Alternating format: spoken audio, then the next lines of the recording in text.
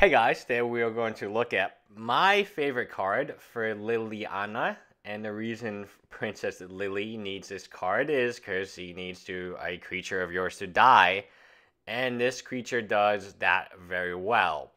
Uh, two double black, devoid. It has flying at the beginning of your upkeep. You sacrifice a creature. So that's actually very good because it's going to flip Liliana very fast.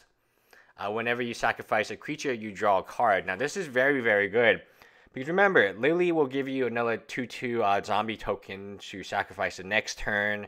She'll give you card advantage. One of the most difficult things I have with Lily is she does not activate all the time. She does not get into Planeswalker mode.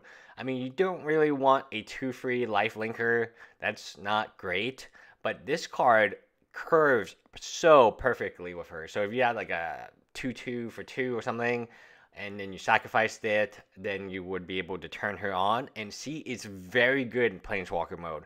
She is actually, in my opinion, much better than Liliana of the Veil in Planeswalker mode.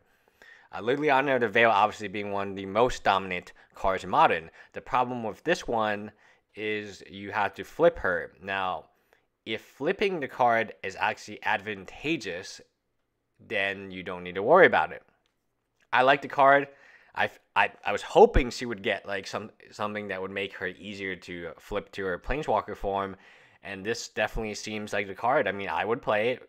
I think it's very very good for that type of deck, and uh, you're drawing cards, you're sacking zombies. I don't know what you're doing, but you're just getting a ton of advantage, card advantage, and most of the times you're drawing extra cards, it's probably removal.